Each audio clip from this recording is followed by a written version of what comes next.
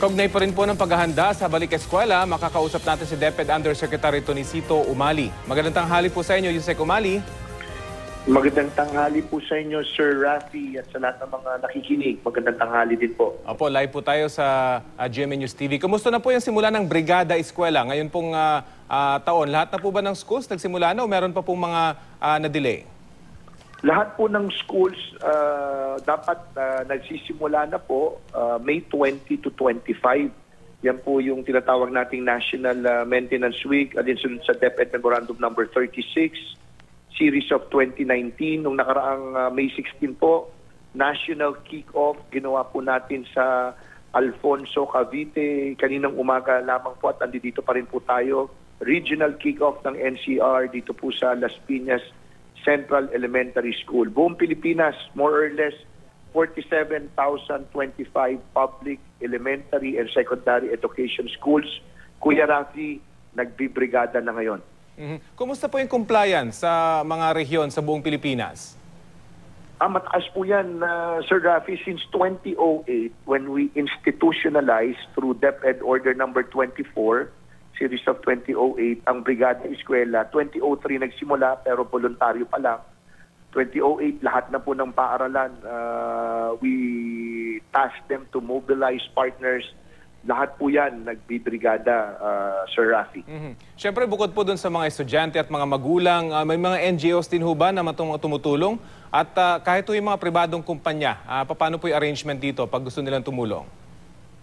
Yes, definitely. Uh, pati po pribadong kumpanya, pamahalaang lokal, uh, talaga pong uh, napakahalagang partner po natin ng mga local government units, NGOs na sinabi po ninyo, and even other government agencies, uh, they're also doing uh, Brigada Eskwela, Sir Rafi. Ngunit, if I, if I may quickly add, Sir Rafi, uh, bukod po dito sa paunang uh, National Maintenance Week, paglilinis, pagpapaganda, ah, pagtatanim, paglalagay ng ah, gulayan sa paaralan natin na ginagawa po natin, Sir Rafi, ito pong Brigada Eskwela ngayong taon nito at since 2016 or 2017 ay ah, mas malawak po ngayon ang ating konsepto ng Brigada Eskwela dahil hindi lamang po nais natin maging malinis at magandang ating paaralan gusto rin po natin maging ligtas at handa sa panahon ng sakuna. Kung kaya meron po tayong checklist na kasama ng DepEd Memorandum, Sir Rafi, nandoon specific things that our school head should be checking.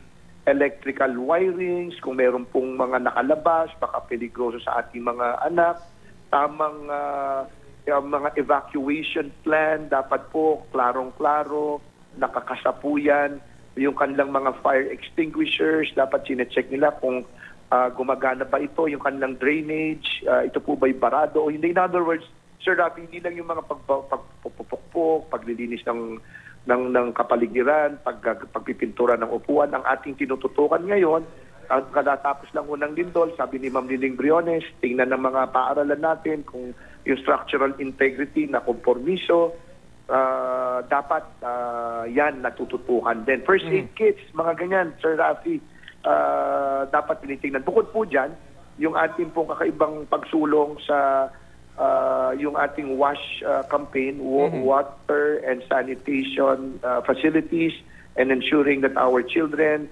are equipped with their ah, basic ah, hygiene ah, knowledge.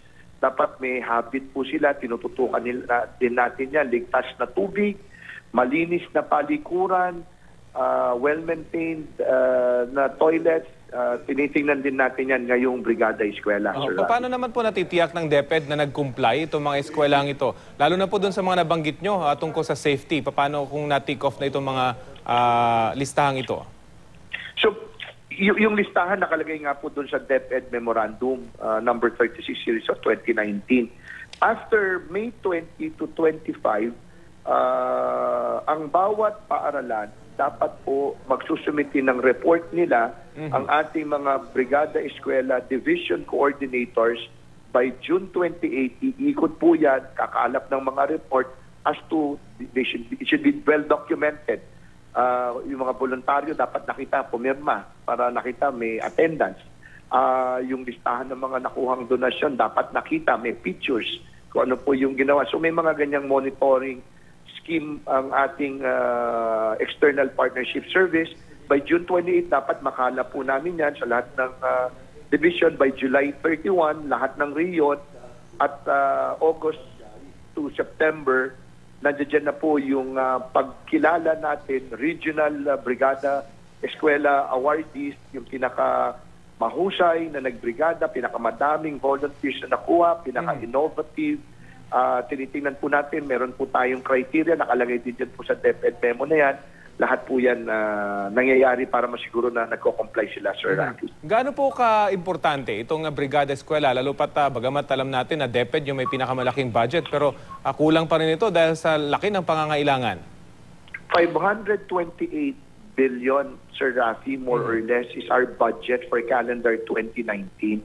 Ngunit alam po ng lahat na itong budget na ito ay hindi kayang tugunan ang lahat ng pangangailangan ng ating mga anak para magkaroon ng dekalidad na edukasyon sa ating mga paaralan. Ah, at nangyayari po ito because of nangyayari ito meaning na kukuha pa rin natin itong mga serbisyo na ito na pa- malinis pa rin ang ating mga paaralan ah, at ah, itong mga advocacy campaigns natin nasusulong because of Brigada Eskwela. Ah, halimbawa, ah, Sir Rafi, yung itong Brigada Eskwela na ito, meron tayong kakaibang ah, diin with our Secretary uh, Leonor Magtolis Briones, uh, advocacy on uh, ALS, Alternative Learning System, na hanapin yung mga bata na wala po sa paaralan and they are of school age. Last year, we had like more or less 36,000 uh, Sir Rafi, because of our Brigada Eskwela special efforts to look for this uh, out-of-school youth. Bumalik sa paaralan through our ADM, Alternative Delivery Mode, na sistema ng uh, pag-deliver ng aming modules o kaya ay through our alternative learning system. Ah, meron po tayong ah, kampanya ah, laban sa paggamit po ng mga ipinagbabawal na gamot na isusulong po yan ng ah, mahusay, ah, gulayan sa paaralan to supplement our school feeding program. Lahat yan, kaya mahalaga yan, ah, Sir Rafi. So all, Dahil, ah, all-encompassing na po pala talaga itong Brigada Eskwela. Yes, yes. Uh, under the concept of Brigada Eskwela Plus, under the concept that partnership should not, Brigada Eskwela style, yung bayanihan na sinasabing pagtutulungan, should not only be happening like two to three weeks before the start of our school year and will only happen for one week. It should happen every day, should happen every week, every month, the whole year round.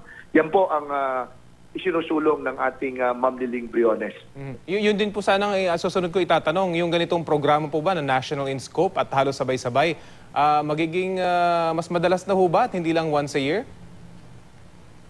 Oh yeah, uh, once a year, yung parang special na diin na kailangan gawing handa at ligtas ang paaralan.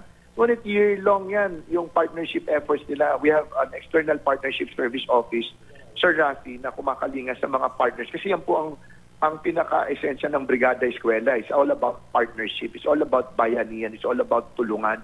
Uh, partners natin, private and public sector, uh, we engage all of them. So we are equipping all our schools, our division and regional offices through the External Partnership Service at ang Ma'am Liling Briones ay tinututukan din po yan. Siya po mismo nagsasabi sa kanyang 10-point basic education agenda ng ah, ating Ma'am Briones that to fulfill our DepEd vision, mission and goal, we would like to enhance and try to strengthen public-private partnership. So yun po yung ah, ginagawa po natin, ah, Sir Rafi. Pero sana po mas lumaki pa yung ah, involvement dito ng community, hindi ho ba? Ah, para mas maging bonding na rin ito para sa buong komunidad, ah, lalo't nakasentro dito yung mga ah, eskwelahan.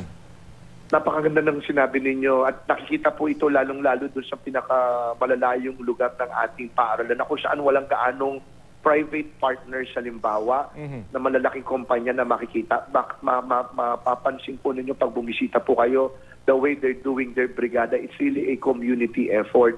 Barangay, mga mga magulang ng PTA, sama-sama, nagdidinis, uh, nagkukumpuni, minor repairs ng mga upuan. Napakaganda pong tingnan. Talaga pong kitang-kitang daman-daman natin na ang ah, responsibilidad ng pagbibigay ng dekalidad na edukasyon ay hindi po dapat ah, nasa DepEd po lamang. Ito po ay kolektibong responsibilidad nating lahat. Buhay na buhay pag may brigada eskwela, Sir Rafi. tama po. Maraming salamat po sa oras na ibinahagi niyo po sa Balitang Hali. Mabuhay po kayo. Ang karangalan ay nasa amin, Sir Rafi. Salamat po si DepEd Undersecretary Tunisito Umali.